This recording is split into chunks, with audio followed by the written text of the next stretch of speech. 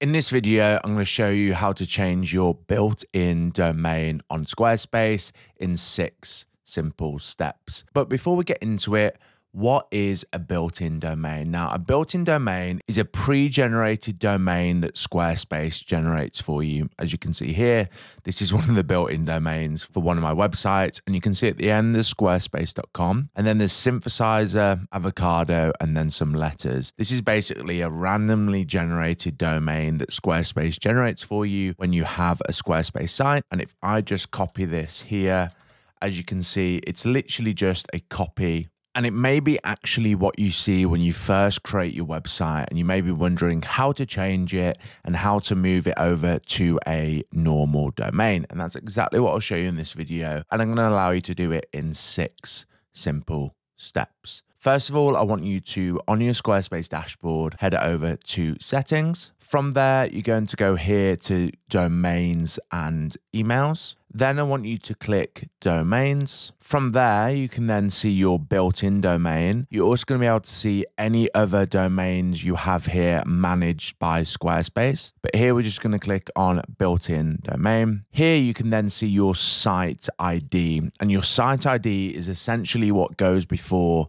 the squarespace.com. So those two random words and then the letters and text. That's what you'll see in here. So, for example, if I go to here, you can see I've got that synthesizer avocado and I can just change it to anything. I can change it to this is my SEO agency, Rough Water Media. So I can just add that here and press save. You can see here just the same, this is for SEO Space's website, and you can see that I already had SEO Space built in here. And as you can see, Squarespace explains it pretty well. This is your built-in Squarespace domain. Your Squarespace site can always be accessed from this domain and it never expires. So it's a built-in domain. Now, if you're going to your website and this is the only URL, this domain, this built-in domain is the only one that you're able to access, what you need to do is make another domain your primary one. So personally, me, I always recommend that you get a domain through Squarespace just because it's super easy. And once you've got a domain within your dashboard, dashboard all you'll need to do is click in that domain, the three dots that you have here, and then select set as primary domain. And that will move your main domain, i.e., the www.seospace.co or .co.uk, or even this, it will move it to the one that you select. So here,